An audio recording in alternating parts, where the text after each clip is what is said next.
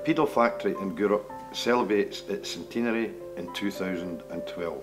Over the last 100 years, the club has been an important contributor to the culture and social fabric of our town. Its history is fascinating. Later, you will hear the stories of the first employees who came here from Woolwich and some of the problems they encountered. You will also hear recollections of club members and indeed employees who worked in the torpedo factory at Battery Park. It's been an interesting 100 years. Let's hear from the current president, Tommy Macaulay. I've been a member of the Factory Club for 29 years. I joined in 1983. I was a vice president right up to this year when I became president. At present moment there's uh, male and female about 400. The biggest changes I've noticed is the, the license hours getting later. You'll not believe it but it was the a lottery it sort of caused a downfall of the people coming out later plus the X Factor and these different programmes and shift work, the, the shift work within the, the district has caused a bit of a upheaval. People can't get out on a Saturday night when they used to come out on a Saturday night and vice versa. We're, we're holding our own, we're, we're struggling, but we're, you know what I mean, we're breaking even most weeks and as good as any other club that's going about at this time for any length of time, but hopefully we would hope to be here in a hundred years. We'd really like to be here in a hundred years. The town of Woolwich is noted for many things, for being the first location in the UK to host a McDonald's fast food restaurant, for its eponymously named building society, and, of the greatest impact, its Royal Arsenal, producing torpedoes and artillery since 1872. During this period, between the late 19th and early 20th centuries, war never seemed far away, creating a huge demand for ammunition. Although work in the industry was dangerous, the Arsenal was still considered a renowned centre of excellence in mechanical engineering, with state-of-the-art technology and cutting-edge techniques being employed by noteworthy engineers of the day, so employment there was sought after and revered. The workers of the Arsenal always had a strong sense of camaraderie and community, and the Dial Square workshops even formed their own football club in 1866. The club originally known as Dial Square, quickly changed their name to Royal Arsenal before altering it to Woolwich Arsenal when they became a limited company in 1893. They finally settled on a name in 1914 familiar to most today, Arsenal. Patrick Boylan, born in Greenock in 1876, was one of many talented footballers enticed to play for the team. With one catch, only factory workers could play.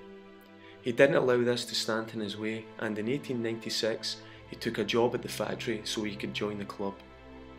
But success was short-lived and when the work was sent north many of the locals followed, leaving the club with few supporters.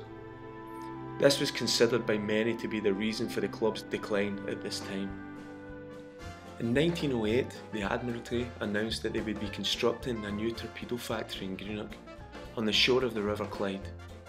The location was chosen as it was directly opposite Loch Long where they planned on testing their product. It was considered ideal due to its sheltered position, great depth of water and comparative freedom from traffic. The fact that the land was owned by Sir Hugh Shaw Stewart, who had desired to keep the West End free of industrial development, did not deter the Admiralty, who informed him in no uncertain terms that they could take his land compulsorily through an Act of Parliament. He was assured, however, that their presence would neither be dangerous nor become in any way a nuisance to the inhabitants. By 1910, when the plant officially opened, 700 workers and their families had arrived from Woolwich to oversee the running of the operation. Woolwich's loss is to be Greenock's gain as hordes of workers have already started arriving per Caledonian Railway, many of the families having already secured housing in the central part of town. The building of the £60,000 torpedo factory has been contracted to Mercer's, Robert Neal & Co. from Manchester and will cover 10 acres. Local labour is to be employed using machinery driven by electricity from the Greenock Corporation. The Evening Express reported that the factory would employ 400 men, although 600 jobs would be lost at Woolwich due to the removal of the plant. These men were told that they would receive preference for employment at the new works. Most were adverse to the imminent change. One told the Express that he'd lived in Woolwich all his life. George Henry Freeman, a Woolwicher born and bred, came to Greenock with the initial influx of workers relocating his family in the process. They moved to Manor Crescent, Gourock, where their daughter Ethel was born. George Henry was given an Imperial Service Medal in 1946 to recognise his meritorious service during his career. His daughter Ethel married John Taylor, who also worked in the service of the torpedo factory. Like his father-in-law, John, or Jack to friends, family and colleagues, was recognised for his service.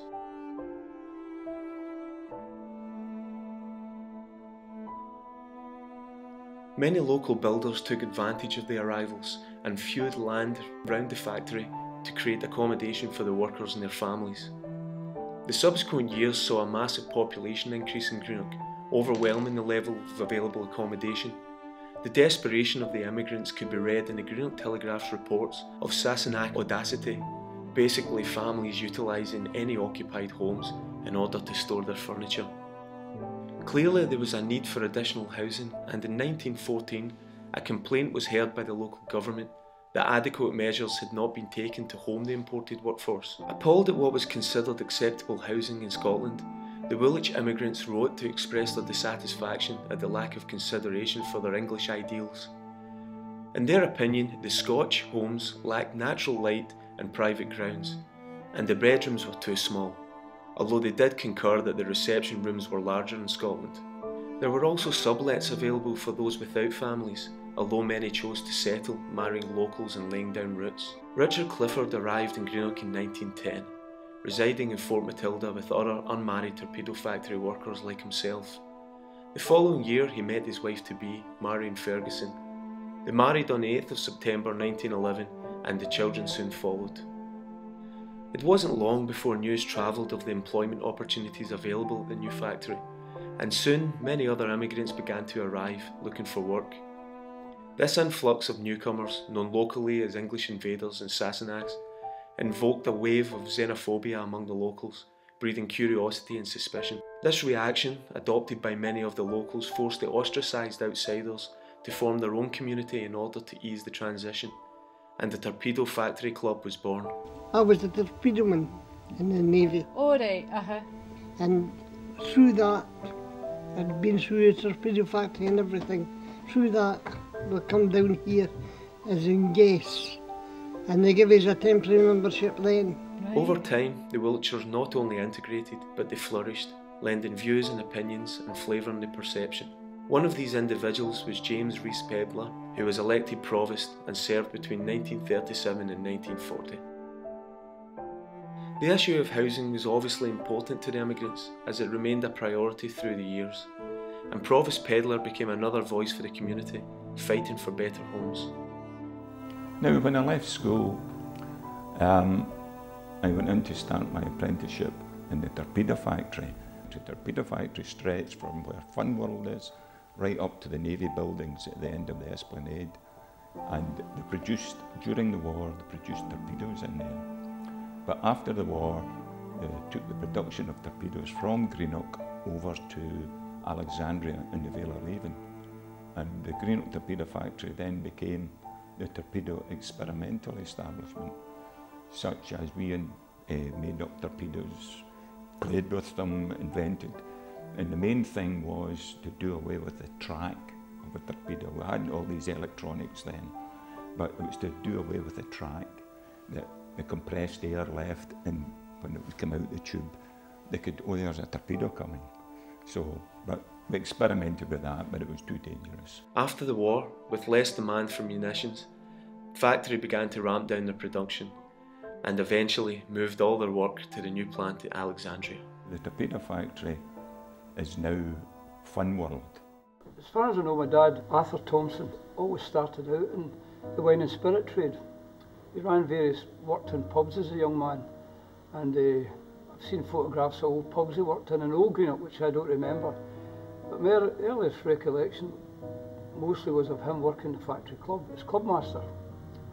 At that time I remember some of the people that worked for him. He had a fellow called Simi Maroney, who's well known in Gourock, he had a chip shop.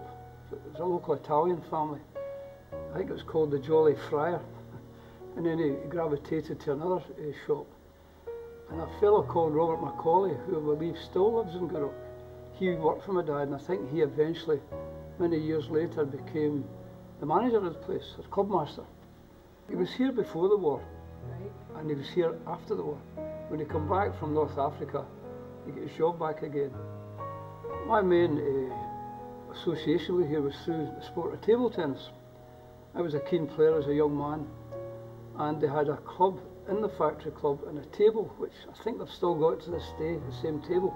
Even remember the name of it, I think it's a Jaques. It's still used in this club on a Tuesday night, I believe, by some of the local guys. In those days, they had a team in the Great District League. And I recollect two men I thought were wonderful players, were older than me. Their name were Walker and Chantry. On a Saturday afternoon, I used to invite maybe a couple of good players to come down here with me to improve my game. My dad would lock up the bar at two o'clock, lock us in here with crisps and lemonade, and that was us until five o'clock at night, till they let us back out again. And so all we could do was eat crisps, drink lemonade, and play all afternoon. That helped me a lot to get on, and the sport I eventually became. I'm a Scottish coach and won a lot of tournaments over the years, but that helped me on the way. And my recollection is the club was busy. And in this hall we're sitting, and I remember coming to like concerts and people singing on here as a young man, mm-hmm. including my dad. It was like, a, if you like, maybe a, an early community center mm-hmm. with an into different, maybe before its time. They used to have a Father Christmas. And one year my dad was telling me, it was like a kind of funny story, it was a guy, it was Father Christmas, and somebody pulled his beard on, and somebody said, oh, it's wee Archie Blue or something. It's no Father Christmas. Mm-hmm. But they used to have that every year, quite good Christmas things for kids in here, mm-hmm. where everyone get presents. Mm-hmm. They had outings and things mm-hmm. for families. Did various activities going on here. It was a, a hub. It's almost as I say, an early community centre. Yeah. I mean, it was kind of family orientated. I would say. As you have heard, over the years the club has encouraged many social sections and sports events involving the local community in many of them. These included athletics, swimming galas, fishing expeditions, cricket and football teams, and many others. In addition, the original factory club had its own library. The membership peaked in the 60s and 70s, and indeed there was a waiting list to join and a grilling from the committee for aspiring members. I joined the factory club in 1966. I was a social convener during the 70s, the heyday of the club. At that time you had the three floors going. It was really, really, really busy. Uh, it was a really, really well-run club then. And Bert Fleming, who was the secretary at the time, he, he ran it really, really well. Jackie McNamee, he was a president, but he was a social convener before I took over. Uh, and it was a good club, it was excellent. The membership at that time, it was massive. I don't know, I can't quote numbers, but maybe about 300 or maybe 400. Uh, uh when I was here, uh, we, it was still the children's streets they, they were just almost finished, but they were still on the go. Uh, I actually organised a few of them. I think one of the ones organised was in Craigburn. uh, and that was, was good. And we had plenty of, plenty of people to come and help help out. You know, there's always always plenty of volunteers. Mm-hmm. Like the old villages were still about at the time, I think. I'm sure there was. I'm sure there was. So maybe maybe not, but there probably would be. Because mm-hmm. you're asking back about about 50 years. Aye. There was a, a chap, uh, he was a great cyclist, uh, Wally Barber, and his father was one of the founder members. Uh, when I, I, I, used to book the groups, I used to, there was maybe about 20, 30, 40 local groups. But now you've got to get out of town to get a group. Mm-hmm. There's very, very few local ones. We used to use the three floors. We used to bingo up the stair, bingo down the stair, uh, and bingo in the, the, the main hall here. And you had a chap up the stair who somebody shouted up, he would shout down, and somebody down the stair, they'd shout up, he, he would shout up. You know, the cabarets were absolutely fantastic. But a lot of a lot of excellent cabarets. One of the most popular acts was uh, Peter McGinty. Uh, he was very very popular. He was he was really really good. Uh, with some great nights with him. Uh, Joe Fisher, he was a, a cabaret. He, he, actually came along a few times as well. He was actually excellent as well. Another thing we used to do, uh, we used to have a film night in here. Mm, that was on a Wednesday night. Uh, a guy who worked in IBM, he used to come down with his projector and we, we thing with the films. The first film we had was Papillon. And we actually joined two we actually joined two screens together to try and get a cinemascope effect. Did it work? it didn't really work. It didn't really work. You know, we, we had the snooker championships in here. We Ray Reardon, John Spencer, uh, Terry Griffith, and uh, Dennis Taylor. Right. Dennis Taylor, he was funny. He, he was he was excellent. The high hug the table from down the stairs. Hug it up. I mean that's some weight. Hug it up the stairs and set it up in here. You're joking? Aye, so who done that?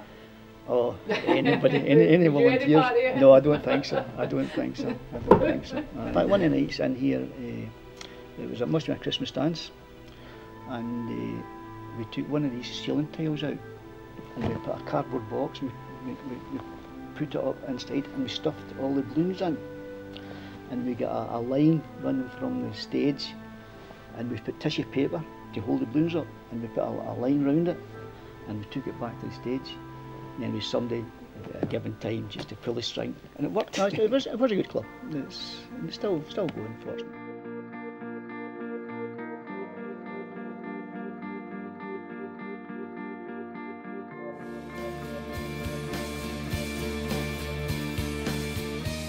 I wish it could go on for at least another hundred years. I would really be happy. Yeah. I wouldn't be here to see it, but somebody would be here, and I hope that would really last a long, long time.